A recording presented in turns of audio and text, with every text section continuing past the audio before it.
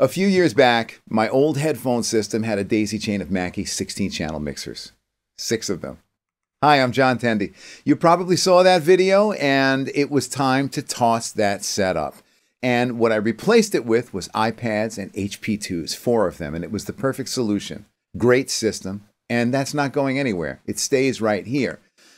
But when I needed more headphone monitors, I wanted to take advantage of the Series 3 AVB capabilities and have a hybrid setup by adding four Presonus EarMix 16M headphone monitors. Now, what got me interested in the EarMix 16M is not just that it's designed to work with the StudioLive Series 3 mixer, but it's also potentially compatible with other emerging AVB enabled audio systems which communicate over an AVB network.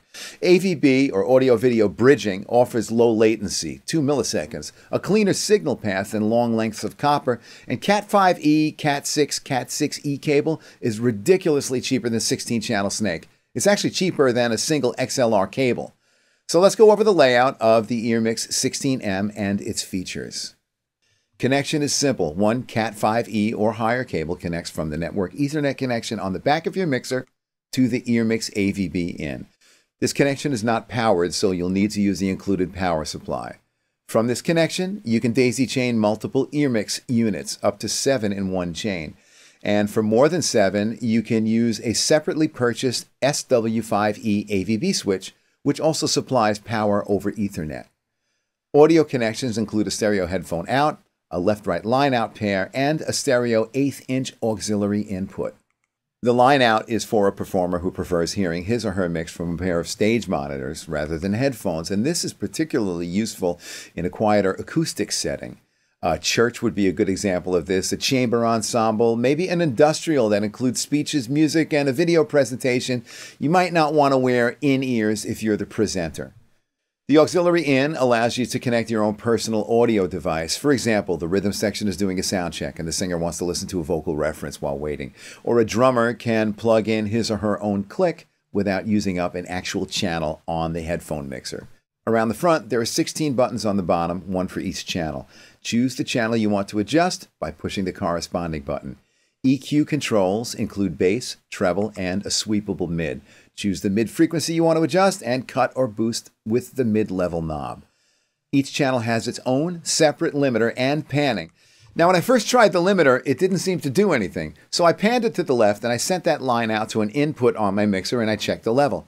It was actually reducing beautifully. It was just so transparent, I didn't actually sense the limiting. And that limiter, by the way, is per channel, not master only. Individual limiting on a personal headphone mixer is a godsend. This is especially useful when a guitar turns his distortion on or off. The level will change in an instant. And rather than the whole mix being pushed down by a global limiter, only one channel will be affected.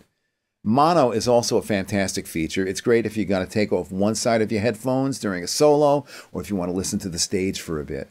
The select button is to choose the master bus and adjust its own EQ and limiter as well.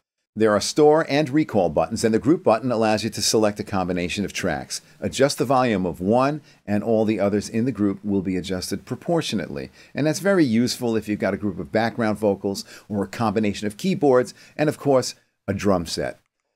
The link button attaches stereo pairs on neighboring odd and even channels. Now there's no actual reset button, so while pressing and holding store and recall, hit the number one. It's actually easy enough to do with one hand. I also like to store a reset button on one of the 16 memory locations. I actually have two, one with everything at one third level and one with everything all the way down.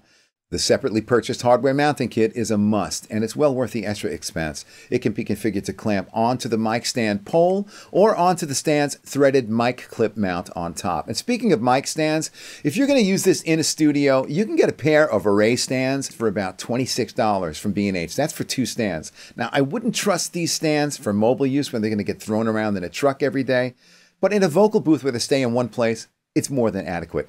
I also like those headphone hangers from Auray. They're like seven or eight bucks. The knobs have a nice fluid resistance, which I really like. They feel much more sturdy. They feel much more expensive than the competition.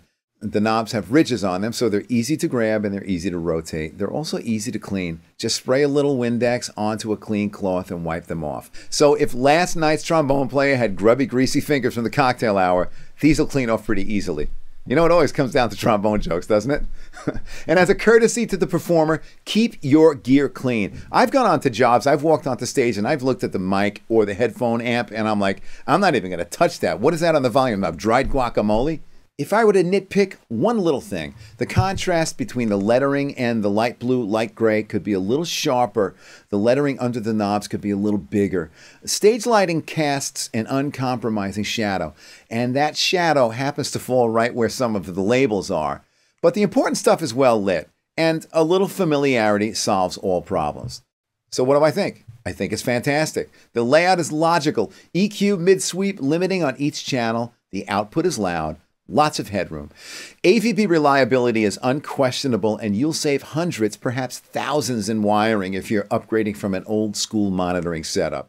Look, we all know the importance of a proper headphone mix. If you're working in a production room, a performer wants the luxury of taking a few extra moments to dial in a proper headphone mix. And if you're doing live sound, musicians can be downright nasty when their headphone mix isn't right.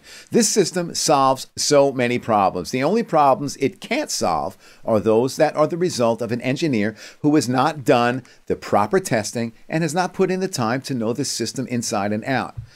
I once saw an engineer literally opening Sweetwater boxes on the job. How do you think that went? Not well. This is a pro rig with depth to it because you got to know the board too. This isn't a Mackie 8 bus. So if you're doing live sound, don't buy something today and expect to use it tomorrow. Give yourself a week, set up a mock session or two. No matter how much preparation you put in on your first gig with your new setup, live or in your production room, something will go wrong but with familiarity, you will be able to solve the problem quickly. Musicians are a tough room. Some are mixer savvy and some are not. And those that are not are not going to get a good mix on their own. You're going to have to help them. So know your gear. There's much more to the EarMix 16M than I can put into one video. So I'm going to post some tutorials here and there on my Facebook page, Tendy Media, and on this YouTube channel. Presonus has done an amazing job in developing a headphone system as part of a bigger ecosystem that sounds great, has ear protecting features with channel by channel limiting, and will be less and less proprietary as other developers adopt AVB networking. So if you like this video, give it a thumbs up, please subscribe, and don't forget to follow and like Tendy Media on Facebook. I'm John Tendy. Thank you for watching.